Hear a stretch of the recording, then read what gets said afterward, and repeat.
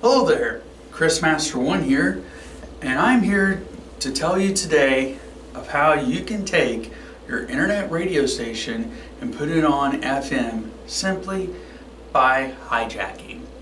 You see, it's a common practice and we're actually experimenting it with it on Rockin' Waves.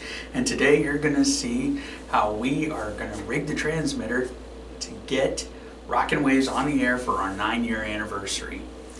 Now, what you'll need to do is make sure you're working at a radio station and make sure no one else is around while you're doing this. This involves being very sneaky. As you can see, we're outside. And this line running straight to the tower is what you'll need. Now, you'll have to go to the top of the tower. That line there, don't worry about it.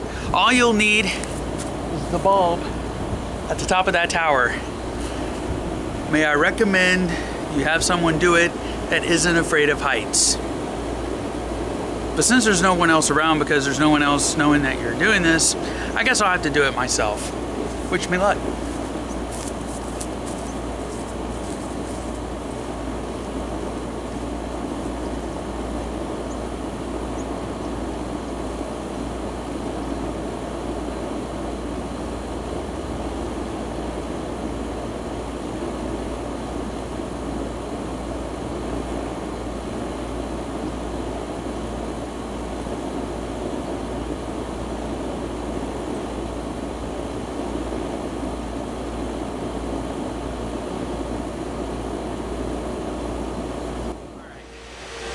Now, after you have fallen down from the tower and collected all the insurance money, then went back and then get winded, climbing up that tower and then climbing back down safely after getting the light bulb, you're ready to start going through the final stages of the experiment.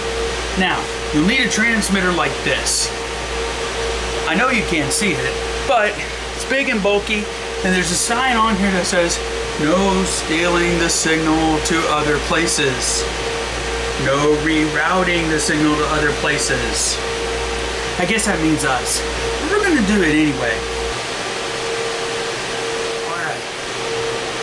I think we're good. And there you have it. Your radio station is on the air. Now there's one more step that you need to be sure of. Make sure you have a quick getaway car because after you climb the tower and switch everything over, the people at the radio station have probably already called the police to arrest you for tampering and fiddle faddle and all that. So, need to be sure and have a quick getaway car. My recommendation is a Toyota Corolla. Fast, easy, and hey, no one will miss it if it's stolen. So anyways, thank you for watching. And by the way, happy nine years, Rockin' Waves. Now let's get our broadcast on the air.